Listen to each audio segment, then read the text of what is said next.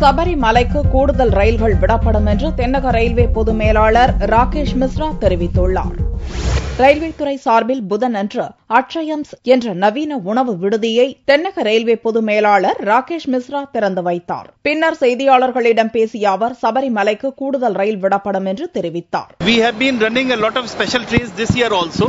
For example, now my immediate concern is the Sabarimala uh, specials.